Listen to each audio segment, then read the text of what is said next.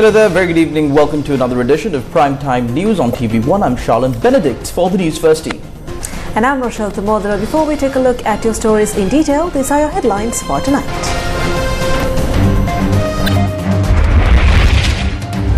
SLFP implosion takes a new twist. Investigations into missing documents obstructed. SJB appoints Nalin Bandara to coordinate Anura Sajith debate. SLPP's Ranjit Bandara says separate candidate will run for president. Namal, not a candidate for upcoming presidential poll, says former President Mahinda.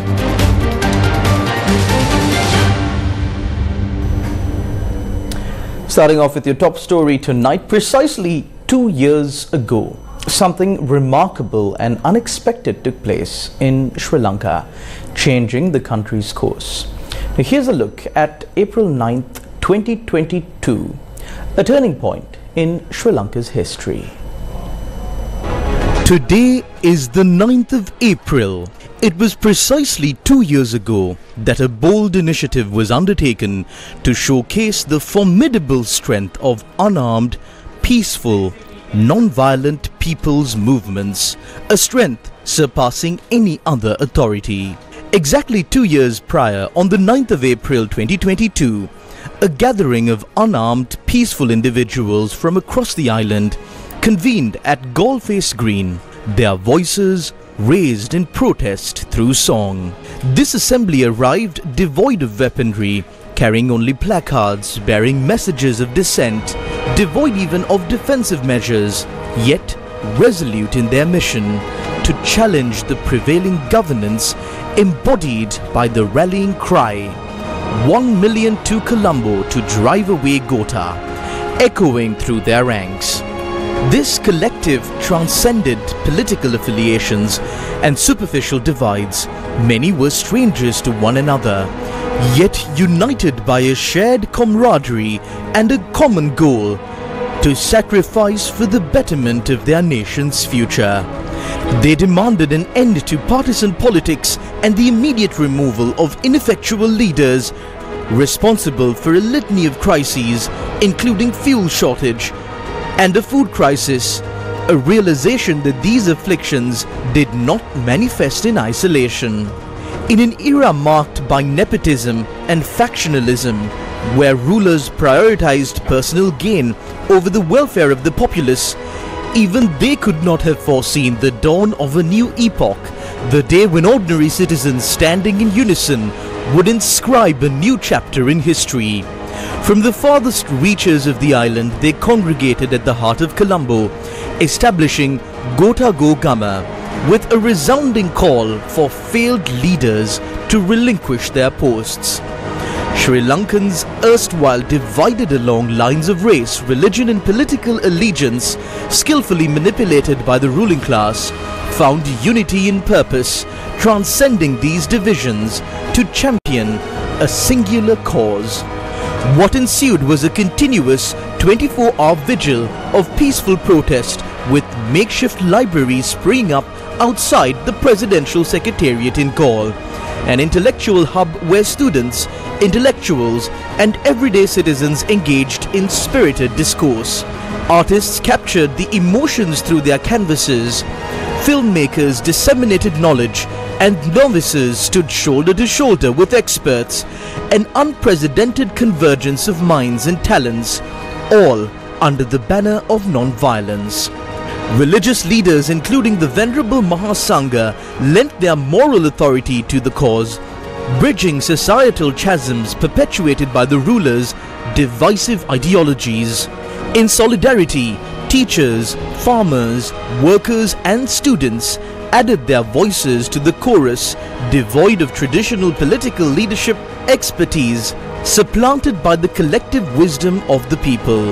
This movement, fueled by unity and a shared vision, laid bare the fallacy of division, be it along racial, religious, or partisan lines that had plagued Sri Lankan society for seven decades post independence. Independent observers attest that such a harmonious and universally revered ground of resistance is a rarity in history's annals. Through their sacrifices, the Sri Lankan people, custodians of a storied heritage, have imparted to the world a profound truth that the power wielded by the masses eclipses that of those ensconced in authority. The power of the people is greater than the people in power. Activists of the non-partisan People's Movement, which commenced two years ago, orchestrated a series of programs across multiple locations today. Today in Colombo, the Movement for the People's Council staged a vigorous protest against the unjust taxes, rising cost of living and the IMF. They also voiced against Indian expansionism and the exploitation of national resources. The protest unfolded at the bustling Fort railway station.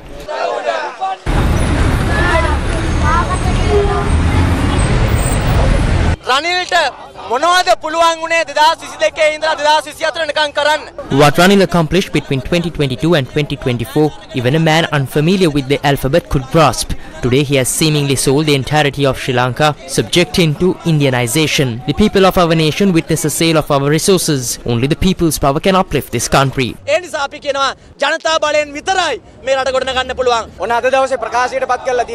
was announced that the IMF agreements will be legalized. Ranil Wickremesinghe can try to do whatever he wants, but the movement for People's Council will continue its struggle against attempts to do away with the people's rights. අපි සියලු දෙනා Ranil Wickremesinghe is responding with sales to the people who demand justice. He is trying to protect a certain class. The people took to the streets two years ago against it. Those demands have not been met as yet. The movement for the People's Council staged protests against the unjust taxes, rising cost of living and the IMF across the country. A protest took place opposite the Thanamalwila bus stand. As an election draws closer, rice, scholarships and other things are given to the people. They are trying to deceive us after selling off the assets. The people should not fall prey to this. Another protest took place opposite the Kurunegala clock tower. Another protest took place in Kaduruwela.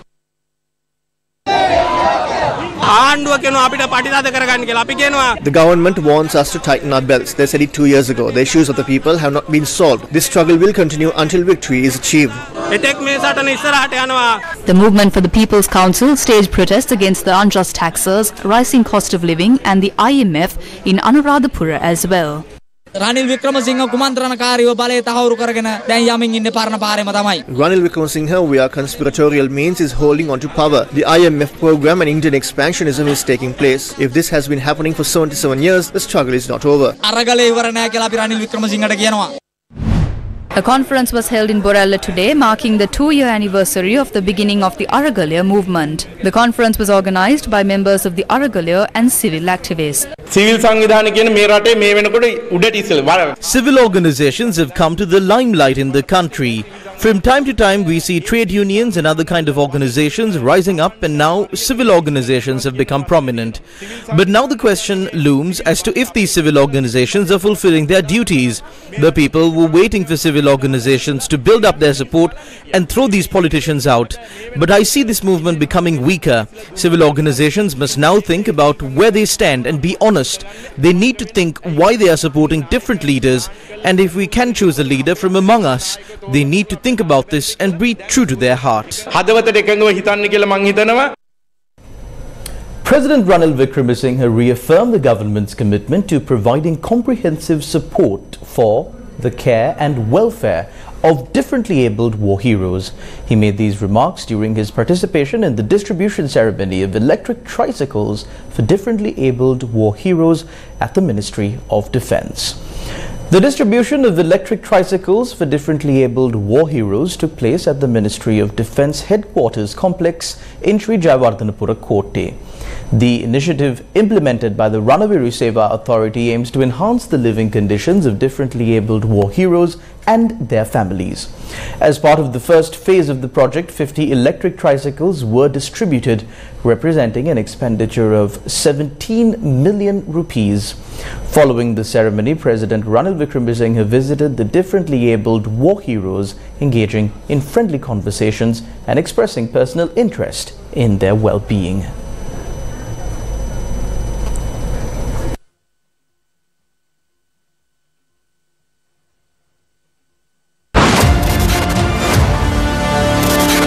Wins the debate. Sajith Premadasa's faction has designated MP Nalin Bandara to oversee the coordination of the debate between Anura and Sajith. Now, on behalf of Anura Dissanayake, former MP Dr. Nalinda Jayatissa has been entrusted with a similar responsibility. But when will this debate be held? MP Nalin Bandara, who is coordinating the debate on behalf of opposition leader Sajith Premadasa, announced that May is the optimal time for the debate. However, before the leaders' debate takes place, MP Nalin Bandara proposes that a preliminary debate should occur between the economic policy making committees of both parties. He believes that once this committee level debate concludes, the stage will be set for the leaders to engage in their own debate. Additionally, MP Nalin Bandara emphasizes that the choice of venue and broadcasting channels for the debate can be jointly decided by both sides. Wins the debate. Opposition leader and leader of the Samagijana Balavegya, Sajith Premadasa, expressed these views about the debate in Anamaduwa. Mamat Sudana. I am ready to debate the alternative that you propose, but remember, when you are coming for the debate, prepare to speak about the work that you have done for the people while you were not in power. Our Economic Council is ready for the debate, and I too am ready for the debate. Let's conduct both debates as well. Let's not sling mud at each other, but discuss the policies that will rebuild the country. There is no issue there. I am looking forward to presenting our vision and our plan. Wins the debate. The leader of the National People's Power Movement, Anura Kumara Dissanayake, has already said that he is ready for the debate. He appointed former parliamentarian Nalinda Jayatissa to coordinate the debate for the National People's Power. Wins the debate. This debate was also spoken of at the Samagi Jana Balawegaya press briefing today. විවාදයකට ලෑස්ති අපි කවදාකවත් We are ready for an open debate. We have never been a party that does things behind closed doors. We have clearly stated what we are going to do to develop this country. But the National People's Power or the JVP has not yet clarified their plan and what they would do. There is no clarity regarding what they are planning on doing with the IMF either. That is the reason why we are challenging them for this debate. IMF එක පවා අ, එක මොකද කරන්න යන්නේ කියන එක තාම පැහැදිලි මා- ඒ නිසා තමයි මේ අභියෝගය අපි එල්ල කරේ මම දැක්කා හරිනි මැතිතුමිය මං I හිතන්නේ saw කියනවා Harini saying that Ranil Wickremesinghe should also be included in this debate. I see this as an incident similar to bringing your father to school when you get into a small fight with another student. MP Harini is trying to bring along the only person who can support them. If we are debating with Ranil Wickremesinghe, we can do that separately.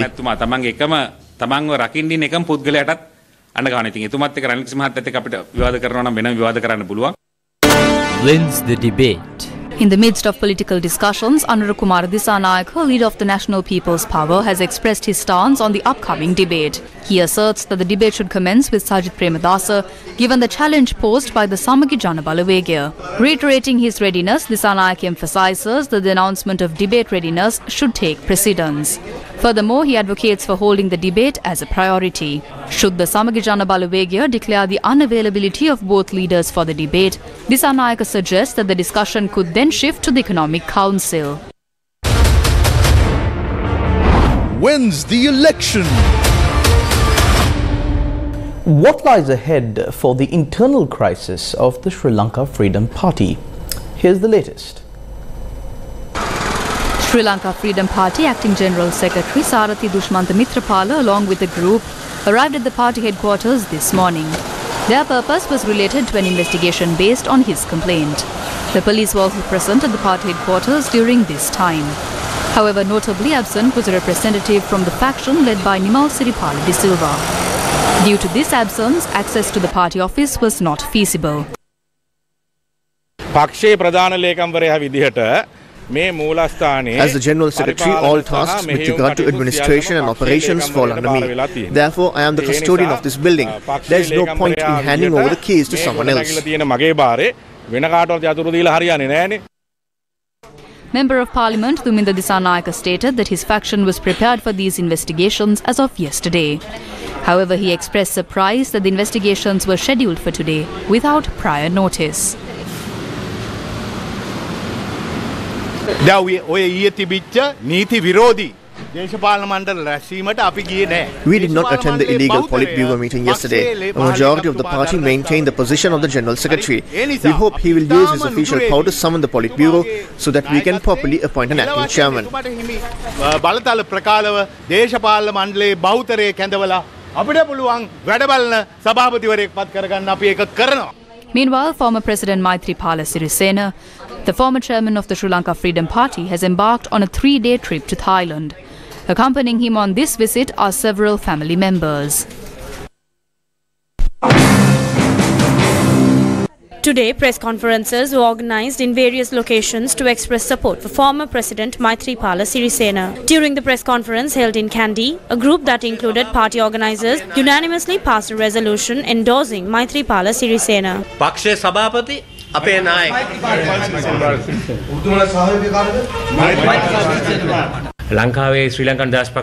in the Sri Lanka Freedom Party Political Committee, comprising 15 esteemed members, our former Chief Minister Governor Sarath Ekanayaka representing the Central Province, of the Freedom Party, holds a pivotal position within the Politburo. As a fellow member of the Politburo, I too play a role in shaping our party's direction. However, neither Governor Ekanayake nor I received any formal communication from the Politburo regarding recent developments. Yesterday's television coverage depicted only a handful, three, four, or at most five members at the Politburo, leaving many of us in the dark about the unfolding situation.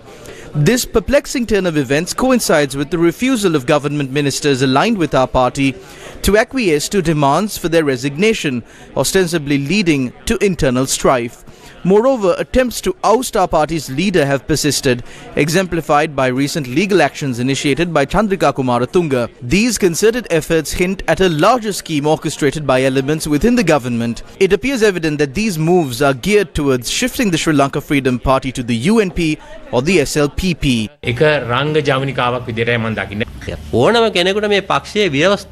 Everyone must adhere strictly to the provisions outlined in the party's constitution. Arbitrary actions are not permissible. As mentioned in paragraph 16, the convening of the Politburo must occur under the auspices of the chairman, who assumes the responsibility of summoning members. In the event that the secretary is to convene the meeting, such actions necessitates the explicit endorsement of the chairman. There has been no recent instance where the party chairman has convened a political committee meeting.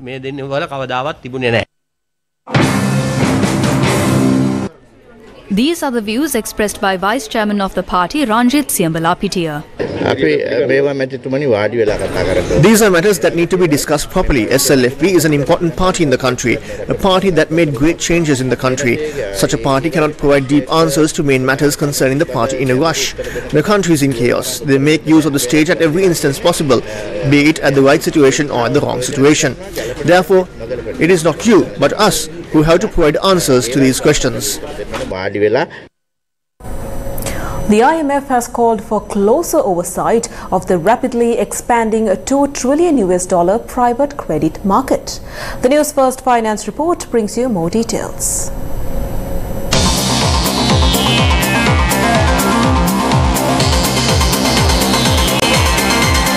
The News First Finance Report. Fast growing $2 trillion private credit market warrants closer watch. The International Monetary Fund has issued a call for heightened scrutiny over the fast growing private credit market, which has surged to a staggering $2 trillion. In an article published on the 8th of April 2024, the IMF emphasized the necessity of monitoring this sector closely due to its rapid expansion and potential risks. The IMF highlighted concerns regarding the lack of transparency and regulation within the private credit market, which encompasses lending activities outside the traditional banking system. According to the IMF, the increasing popularity of private credit poses significant challenges, including potential vulnerabilities to financial stability and macroeconomic disruptions. IMF underscores the importance of implementing robust regulatory frameworks and enhancing transparency to mitigate the associated risks effectively. Additionally, the IMF stressed the need for policymakers to remain vigilant and proactive in addressing potential threats posed by the private credit market to safeguard global financial stability.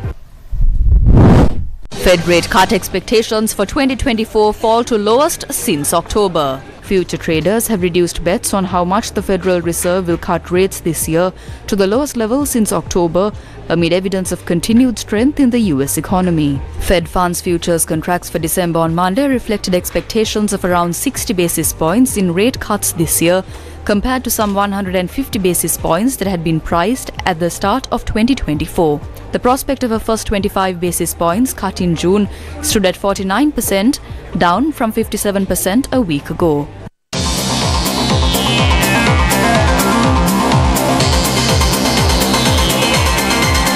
The news first. Finance report.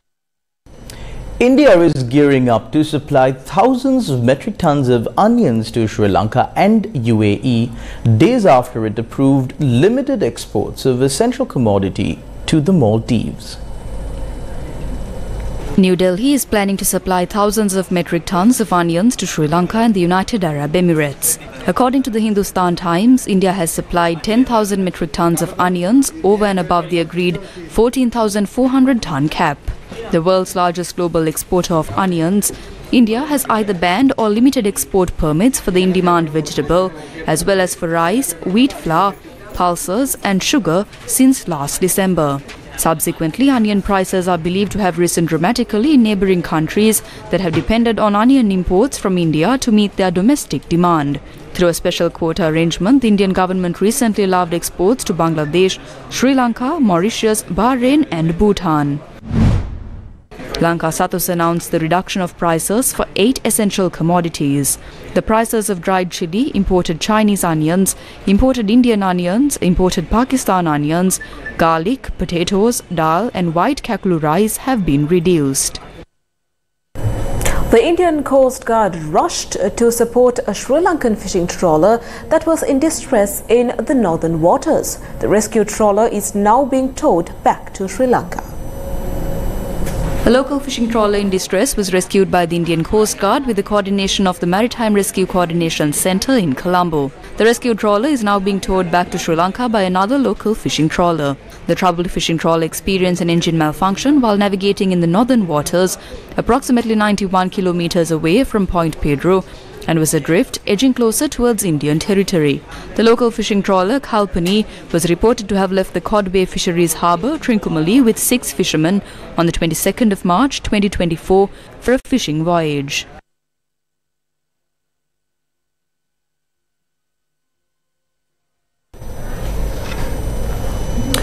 Today, a follow-up on the initiatives undertaken by Gammadda in Mahawilachchiya Anuradhapura was carried out.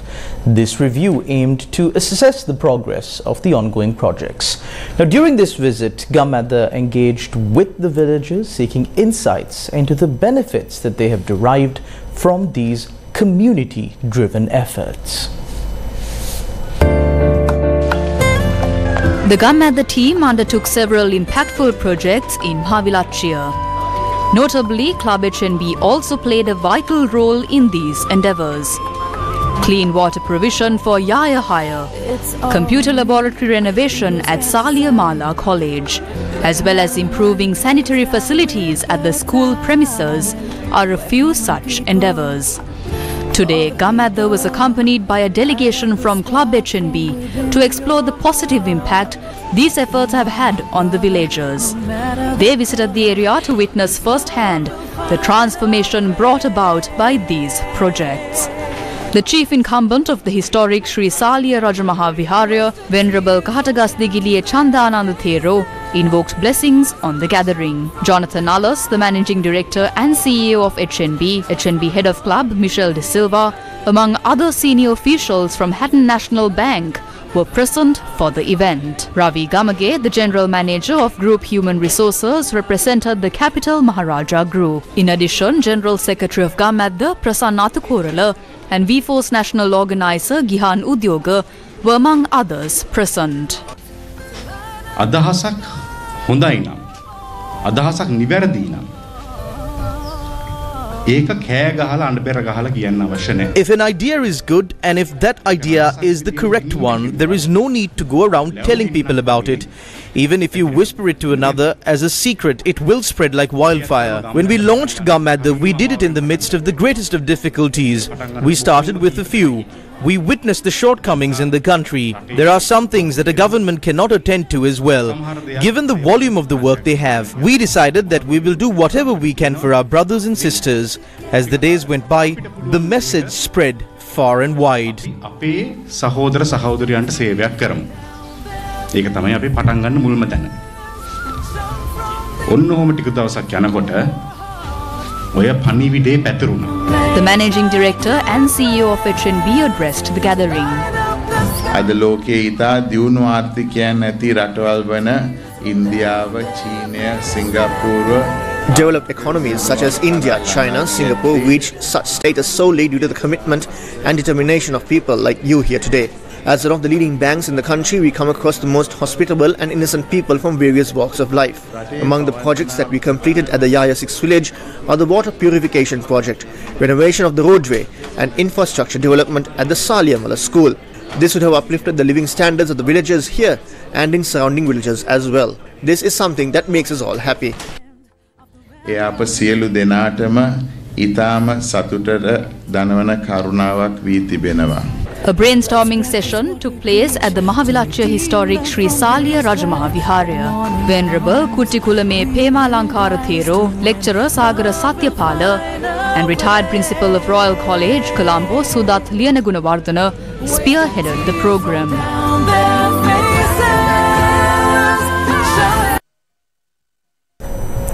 Today, a special event was held to honor the inaugural principal of Uduvil Girls College in Jaffna as the school celebrates its remarkable 200th anniversary. A momentous commemorative event unfolded at Uduvil Girls College celebrating the birthday of the college's esteemed first principal Harriet Winslow. Under the guidance of the current principal, the event unfolded within the grandeur of the college's main hall. Uduvil Girls College, founded in 1824 in Uduvil, Jaffna, owes to uh, its legacy to late Harriet Winslow, who served as its principal from 1824 to 1833. The occasion was marked by special events and a prayer service. The college community witnessed captivating art performances by talented students. Distinguished attendees included Archbishop Reverend Dr. V. Patmanathan of the Church of South India. This memorable gathering celebrated the rich heritage of Uduvil Girls College.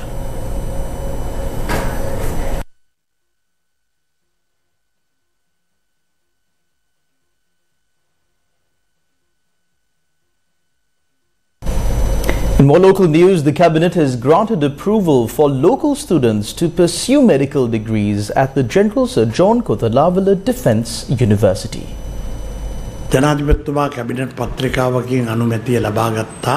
The Cabinet of Ministers approved the proposal presented by the President to recruit undergraduate candidates to the Faculty of Medicine of General Sir John Kotelawala Defence University to study medicine and art on the basis of payment based on those criteria. News first with the people. Muslims in Sri Lanka will celebrate Eid ul Fitr, also known as Ramazan, tomorrow. The Colombo Grand Mosque made the official announcement after the crescent for the month of Shawwal was sighted.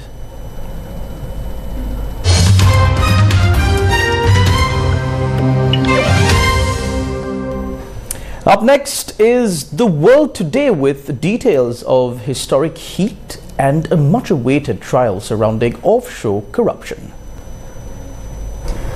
Didmini, uh, Europe's climate monitor has said that March was the hottest on record and the 10th straight month of historic heat with sea surface temperatures also hitting a shocking new high.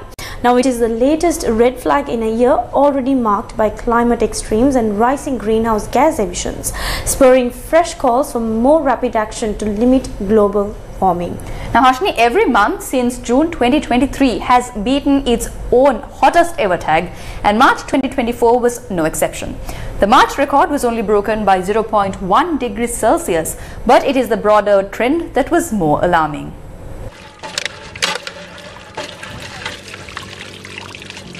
Now, shifting your focus to related news, a group of older Swiss women have won the first ever climate case victory in the European Court of Human Rights. The women, mostly in their 70s, said that their age and gender made them particularly vulnerable to the effects of heat waves linked to climate change. Uh, Ditmini, the court said that Switzerland's effort to meet its emission reduction targets had been uh, woefully inadequate. Now, it is the first time the powerful court has ruled on global warming. And Swedish campaigner Greta Thunberg joined activists celebrating at the court today. This is only the beginning of climate litigation. All over the world, more and more people are taking their government to court, holding their, them responsible for their actions. Uh, Ditmini, Millions of people across Mexico and US and Canada looked to the skies on Monday uh, to witness a total solar eclipse carve a narrow path of darkness across the continent. Now its shadow first touched the surface of the earth in the Pacific Ocean before traveling across Mexico, turning daylight into darkness as crowds watched on. The eclipse rolled over the border into the US and brought darkness to large areas of Texas, including the cities of Austin and Dallas. Total solar eclipses happen about every 18 months, but they're often in unpopulated or remote areas, whereas this one passed over several big cities across three countries. While neither Washington DC nor New York City were in the path of totality, both saw about 90% of the sun covered by the moon and plenty of people took to the streets and skyscrapers to catch a view.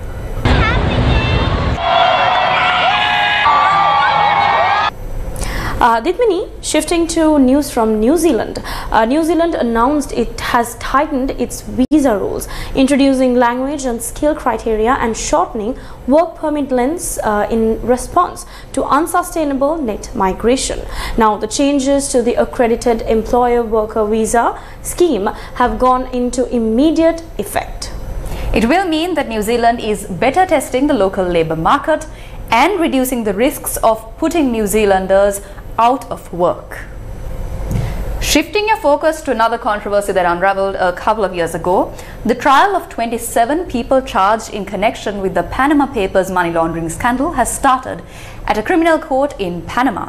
The leak of secret financial documents in 2016 revealed how some of the world's wealthiest people stashed their assets in offshore companies. The defendants include uh, Jurgen Mossack and Ramon Fonseca Mora, who founded the now defunct law firm Mossack Fonseca. Thailand is prepared to accept 100,000 people fleeing Myanmar as fighting near a crucial border town rumbled on. Now Thailand shares a 2,400 kilometer border with Myanmar which has been embroiled in a civil war since the junta overthrew the democratically elected government in 2021. Over the weekend, there were local reports of intense clashes near Myawaddy town across the border from the Thai town of Mae Sot. Now, shifting your focus again to the Israel-Gaza war. Israeli Prime Minister Benjamin Netanyahu says a date has been set to invade Rafah in southern Gaza as truce talks with Hamas in Cairo are ongoing but do not appear close to the finish line. In a video statement in Hebrew, Netanyahu reiterated his position that a ground military operation in Rafah, bordering Egypt, where more than 1.5 million Palestinians are sheltering, is essential for victory in the war. Uh, now, Ditni, as an update, this comes as Hamas war presented with a new proposal in ceasefire talks at the end of the weekend, but one that does not appear to be able to secure a deal. Uh, Gaza Health Ministry said 153 were killed, 60 were injured in Gaza in last 24 hours. The casualties bring the total number of people killed in Gaza since the 7th of October to 33,360, with 75,993 injured. At least 8,000 additional people are missing. And that's a wrap of uh, the world today. Uh, for the News First team, I'm Hashini Pathirana. And I'm Ditmini De Silva.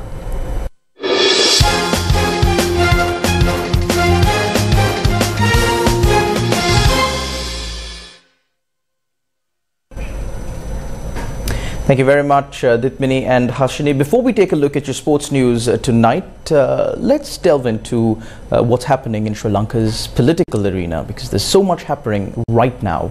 Uh, one of the main political parties in Sri Lanka is the Sri Lanka Podujana Peramuna. Now, what is happening inside the Sri Lanka Podujana Peramuna as far as the election is concerned? Will they name a presidential candidate or will they support President Ranil Wickremesinghe, who they themselves supported in parliament and brought into power. Mahinda Rajapaksa, leader of the Sri Lanka Podujana Peramuna, said today that this decision will be taken in the near future. A book written about Mahinda Rajapaksa titled Janahada Vilapipi Siyapata Mahinda was launched today. The book was penned by Venerable Vevahamanduwe Subodha Damathero and Venerable Vevahamanduwe Lochana Damathero. The event was attended by several ministers. The Sri Lanka Podujana Peramuna Political Committee convened this afternoon at the official residence of Mahinda Rajapaksa in Wijerama, Colombo.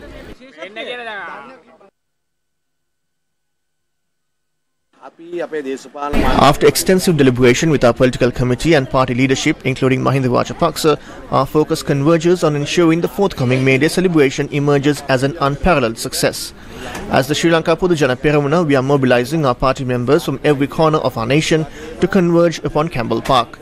Furthermore, today, amidst the deliberations of our Politburo, a pivotal decision was made regarding our forthcoming presidential candidate. We shall meticulously evaluate the presented candidates within our party ranks, and it is Mahinda Rajapaksa who will make such an announcement. නායකත්වයට පැවරුවා. ඒතර එතුමා තමයි කවුද අපේක්ෂකයා කියලා අ, කියන්නේ. එහෙම නැතුව අපි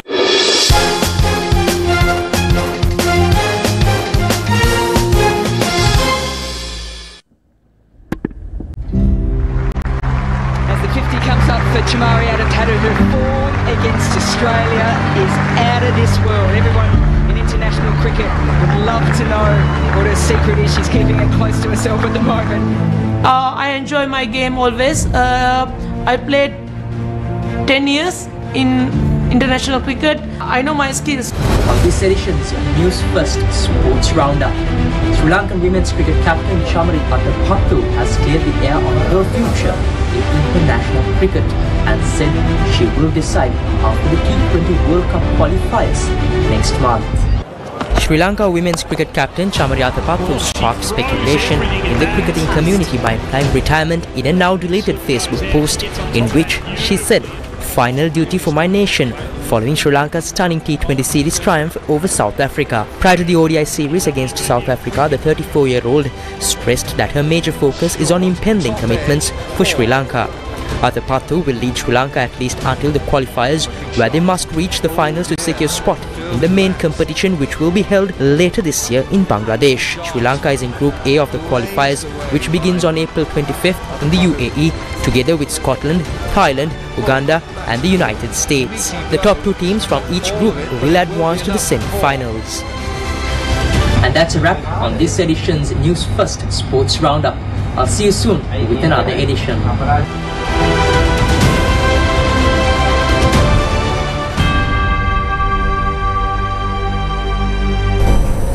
And that's a wrap of Primetime News on TV1 for tonight.